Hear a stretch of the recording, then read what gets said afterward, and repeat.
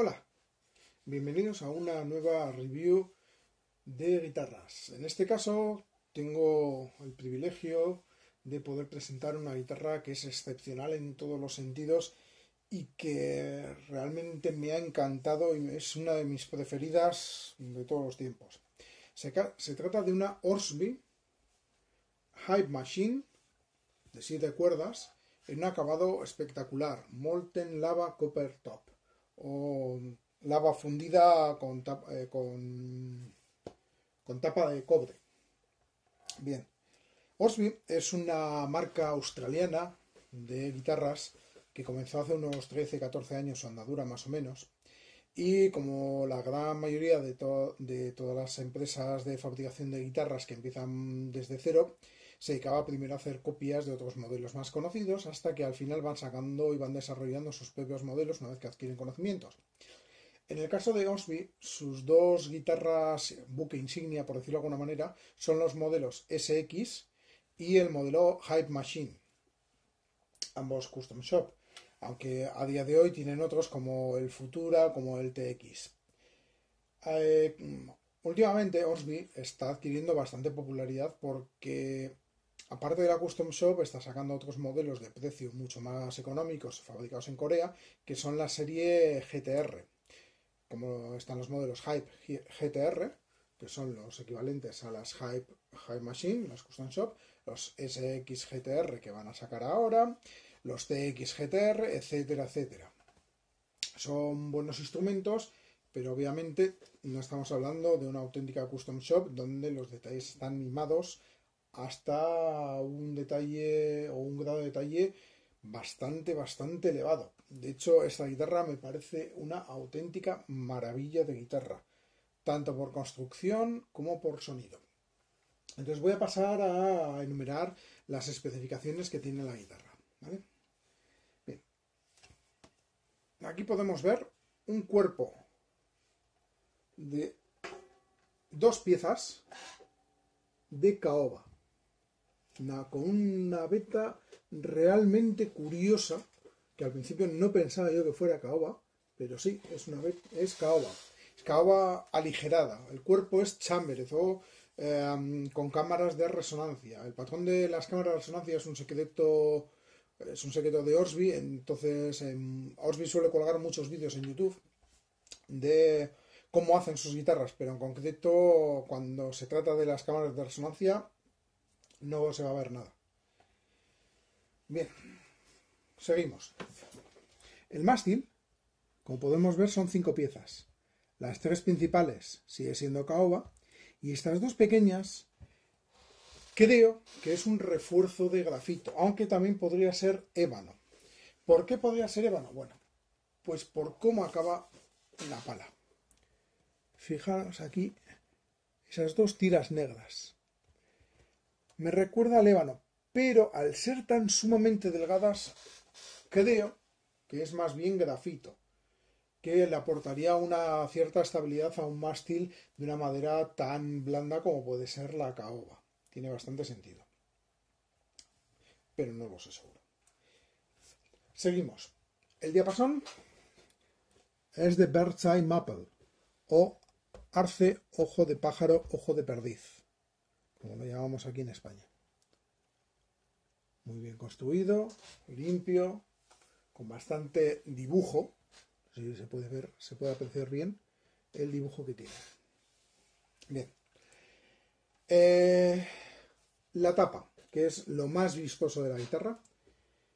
La tapa es un acabado molten lava, o sea, lava, una lava fundida en color rojizo. Voy a intentar quitar un poquito de luz a ver si podemos apreciar mejor. Porque en vivo es muy intenso el color. A ver, así que se ve un poco más de reflejo. No sé si estáis viendo ahora, por aquí, el color más oscuro del rojo, ese rojizo. Esto es realmente el color que se ve en persona. Pero con las luces que tengo yo, se ve más, más clarito. Está, hecha de una lámina muy finita, muy finita de cobre, al cual se le ha atacado con una serie de ácidos, se ha tintado y se ha conseguido este resultado. Eh, he visto alguna otra más copper top y de lejos esta es la más bonita de todas las que he visto. Ahora van a sacar una serie de las Hype GTR, las coreanas, con una versión azulada del, eh, Copper Top, así como las Goliath o Goliath, que son las, eh, las guitarras sin, sin, pala que tiene Orsby y que también tienen este acabado. Continúo. Aquí en el mástil podemos encontrar un binding de celulosa roja. Es la primera vez que encuentro una guitarra con un binding tan espectacular en, este color rojo. El binding va por la parte de arriba, por la parte de abajo y también, aunque no lo vamos a poder apreciar por el ángulo, también continúa por aquí detrás, entre el mástil y la pastilla. Cosa que es de agradecer porque ningún fabricante lo suele hacer así y salvo que sea un binding, un binding blanco, un binding acarado. Hay pocas, pocos fabricantes lo hacen. En la parte superior encontramos unos puntos en color blanco, perlados, que son los marcadores de trastes. ¿Qué más? La pala. La pala lleva el mismo acabado del copper top molten lava. Como podemos ver, hay siete afinadores, es una guitarra siete cuerdas. Y estos afinadores, es lo que me lleva ahora a decir, son de la marca Hipshot, pero no son unos afinadores estándares, no se pueden comprar comercialmente. Son unos afinadores de bloqueo custom hechos específicamente para Orsby por Hipshot. Tienen lo que es la palometa más pequeña que los típicos Open Gear, que tiene Hipshot y tampoco se ve el mecanismo al aire con el, el engranaje como suele ser en los Open Gear. ¿Qué más cosas podemos encontrar? Un puente hecho de silletas individuales, totalmente regulable en altura, profundidad, también hecho por Hipshot bajo las especificaciones de Orsby, con lo cual es otro puente que no podemos Em, encontrar en el mercado. Y que la verdad que el diseño está muy, pero que muy bien hecho. Son unas selletas muy robustas y con un tacto muy bueno a la hora de pasar la mano. No encontramos ningún borde que sea de arista viva, tiene todos los bordes redondeados. Así como, por ejemplo, en otros, en otros puentes de selletas individuales, como pasa con, con Kiesel, que ahí sí encontramos algunas selletas que son algo, mm, algo ásperas, o incluso el Skerbesen, este está muy bien hecho. ¿Qué más? Bien. Las pastillas. Pastillas son también fabricadas por eh, fabricadas y bobinadas por, eh, por, el propio equipo de Orsby. En el puente tenemos la Nunchaku y en, la, y en el mástil la de la Creme. Ambas son pastillas de Alnico, una es de Alnico 8 y la otra es de Alnico 5, y son pastillas de una ganancia medio alta, pero sin ser de ganancia alta. Es una, más bien una hot rodded. Tiene un sonido cálido, abierto, y hablaré un poquito más tarde de él. Pero bueno, son fabricadas por el propio Orsby. Y solamente se pueden comprar en el caso de que adquieras una Orsby o compres a través de ellos. Luego hablaré un poquitín de la peculiaridad porque no valen para cualquier guitarra. Bien. Tenemos aquí trastes de acero inoxidable. Es una guitarra de 24 trastes, en el cual nos encontramos unos pequeños marcadores en el diapasón de perla negra, muy diminutos y bastante elegantes. Los trastes, como podéis ver, se encuentran dispuestos en abanico o en V, como lo llaman algunos, también comúnmente denominados fanet frets, trastes en abanico. Es lo que se llama una multiescala. Esta guitarra tiene en su primera cuerda una escala de 25.5 pulgadas y en la séptima cuerda una escala de 27.8 pulgadas. Y las intermedias van variando para acomodarse a dicha, a dicha multiescala. El traste paralelo aquí lo encontramos aproximadamente en el traste. No sé por qué le llamamos paralelo, porque realmente es el perpendicular al mástil, pero bueno, todo el mundo llama el traste paralelo. Está en el traste 10. Hablaré después de ergonomía. Cuando hable de ergonomía hablaré de la multiescala. La forma de la pala, que no he hablado antes, la forma de la pala es propia de las high machine, con este saliente aquí, que nos permite sujetar la guitarra, y bueno, bastante estilizado. ¿Qué más podemos encontrar? Bueno, aquí tenemos un volumen, volumen general, selector de tres posiciones para las pastillas, y aquí tenemos un, un potenciómetro tono que a su vez es un push-pull para poner las pastillas en modo single call. Bien, por la parte de atrás nos vamos ya a lo que serían las tapas de la guitarra, tapas de acceso a diferentes cavidades. Bien, esta es la tapa de acceso a la electrónica general. Como vemos es de una madera más oscura, creo que es eh, nogal de Tasmania, no estoy muy seguro, pero por el tipo de grano y beta tiene pinta de ser nogal de Tasmania. Aquí vemos otra tapa, que esta es la tapa de acceso al jack, que ahora hablaré de él, y el cual también está realizado en el tipo mismo de material, y podemos leer Hype Machine, que es lo que diferencia al Hype Machine de la Hype GTR, esto viene aquí, Orsby Guitars y la pequeña isla de Australia, entre comillas pequeña. Bien, grabado con cuatro, está sujeto con cuatro tornillos. La tapa de acceso al alma muestra el logotipo de Orsby y también está realizado en el mismo material que creo, como ya he dicho antes, que es un em, nogal de Tasmania. Tasmanian em, Walnut. Por la parte de atrás, en el mástil encontramos la voluta y un dato curioso, a ver si lo puedo acercar, que estoy encima del escritorio. Aquí nos aparece el símbolo de que realmente está hecho a mano. A ver si se puede leer. Aquí nos indica que está hecho a mano por Perry Ormsby, terminado en el 2016, el 1 de junio, y la edición de la página web y la bandera Australia. un pequeño detalle. Bien, estas son las características generales, a excepción del peso. Es una guitarra muy ligera al ser chambered o al ser con cámaras y pesa 2 kilos 979 gramos, no llega a los 3 kilos, se agradece bastante, bastante. Bien, por último me falta hablar del jack de entrada. Bien, el jack de entrada, si os fijáis aquí tenemos dos agujeros, la parte de atrás. Bien, pues el jack de entrada es este. Esto es para poner, es el pin, para poner el pin de la correa, es un Dunlop que está incrustado dentro del cuerpo y que hace par con este de aquí que está. Entonces la guitarra realmente se sostendría por estos dos puntos y el jack de entrada estaría aquí. Bien, me ha pasado en muchas ocasiones que voy a meter el jack de entrada, o sea, perdón, que voy a meter la correa por aquí, porque estoy acostumbrado a que todas mis guitarras lo tengan en este punto y voy y lo meto por el jack de entrada.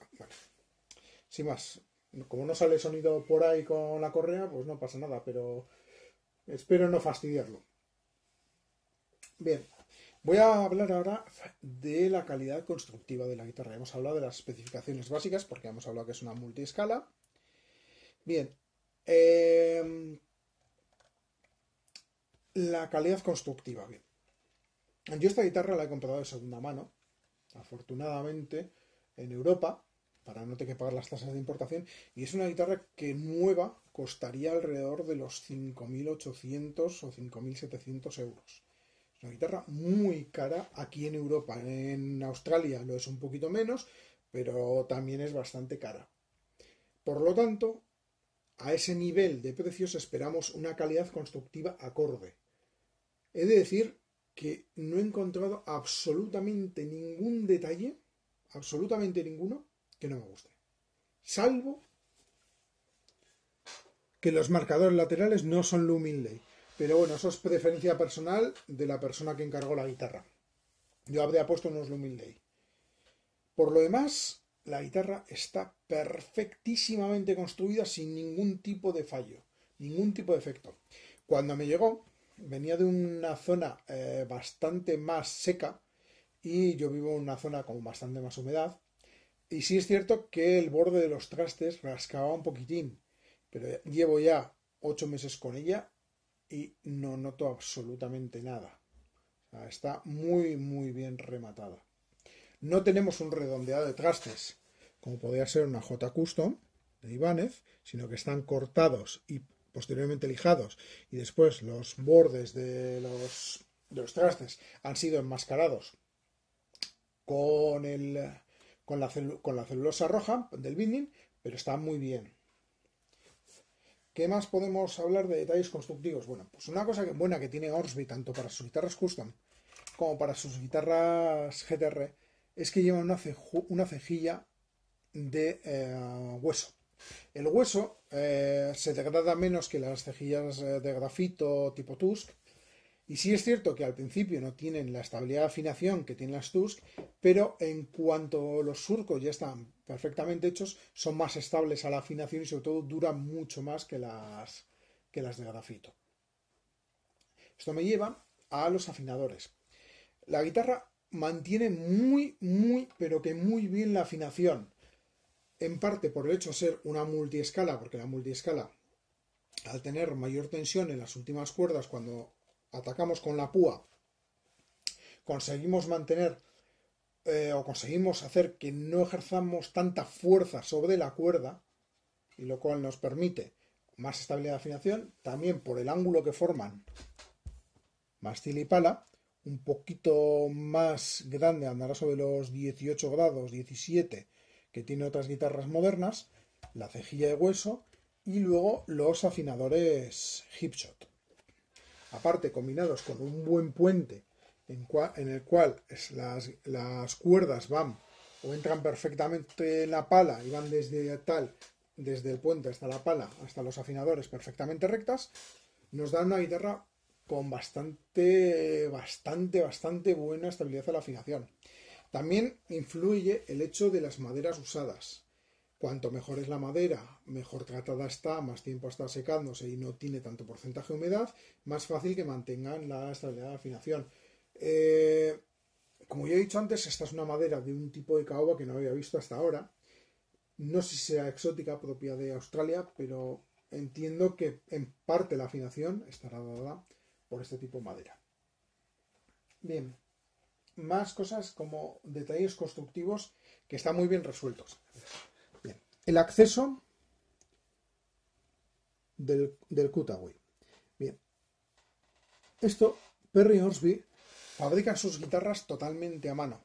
Parten de los tochos de madera, los van cortando y los van perfilando a mano hasta hacerlos. Entonces, el acceso está perfectísimamente realizado para una transición súper suave. Aunque parezca que es puntiagudo, la sensación en la mano es de total comodidad.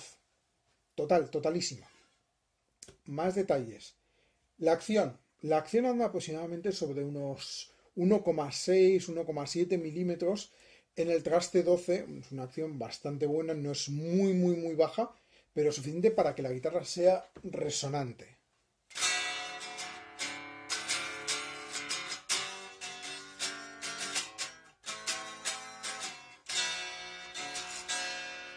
Ahora está un poco desafinada, pero porque he estado jugando antes con ella.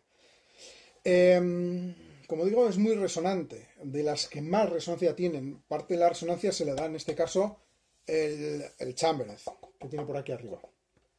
Bien, la guitarra por la parte trasera está biselada completamente para un mejor apoyo.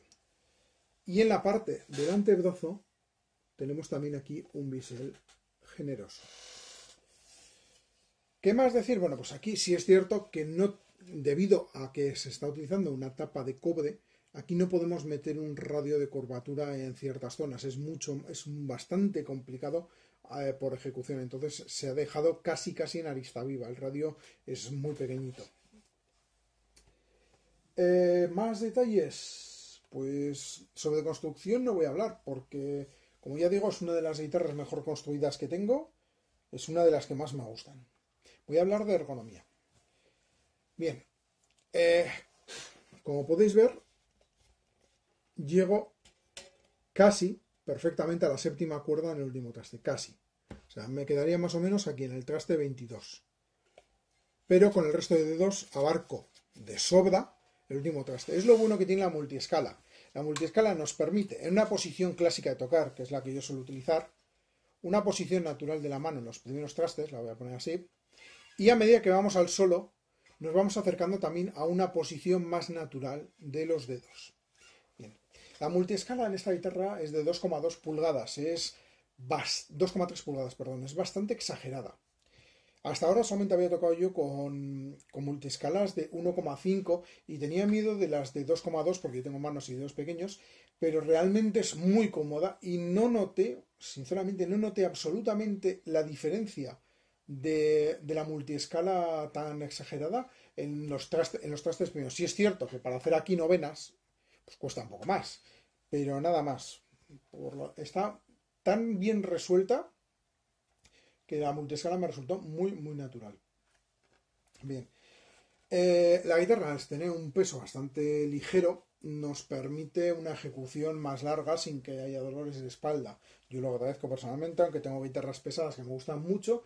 Esta guitarra es ligera, es muy resonante, cumple perfectamente. El perfil del mástil es un perfil en D moderno.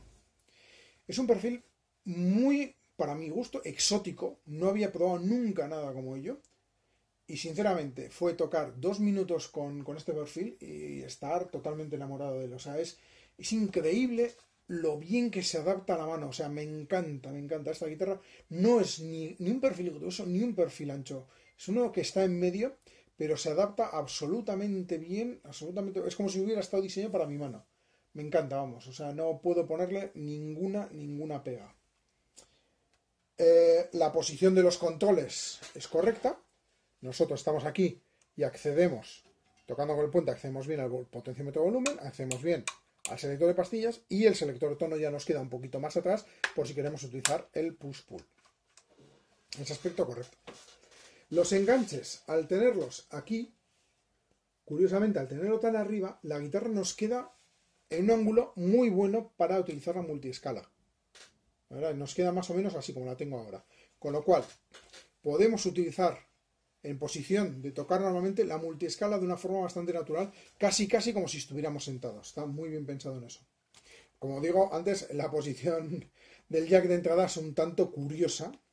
Bueno, no a todo el mundo igual le gusta, pero a mí no me parece mala. Bien, voy a hablar ahora un poquitín de la electrónica, las pastillas. Como he comentado antes, estas pastillas son custom hechas por Osbig, las bobinan ellos a mano, las puedes pedir con unas especificaciones o una salida concreta. Bien, la... como he dicho antes, no valen para cualquier tipo de guitarra. ¿Por qué? Bien, si os fijáis, el puente mantiene más o menos el mismo ángulo que la pastilla y esta mantiene más o menos el mismo ángulo que el Fanet Thread del mástil. Y esto es muy difícil de encontrar porque normalmente las eh, pastillas comerciales andan, andan con una inclinación que es para, una, para un Fanet Thread a un multiescala de una pulgada a 1,5 en casos muy muy extremos. Los normales que sean para multiescalas de una, de una sola pulgada. Entonces, si vosotros lo intentáis poner en una guitarra que tiene 1 o 1,5 con una Stramber, una Skerbers, una Mayones, probablemente no os entre porque está demasiado girada las bobinas. Entonces esto es una cosa que hay que tener cuidado en caso que las podéis pedir. Si es cierto que Orsby, aunque fabrica por defecto en multiescala, también tiene guitarras con los trastes rectos, totalmente rectos, como si fuera una, guitarra normal, pero no es lo usual.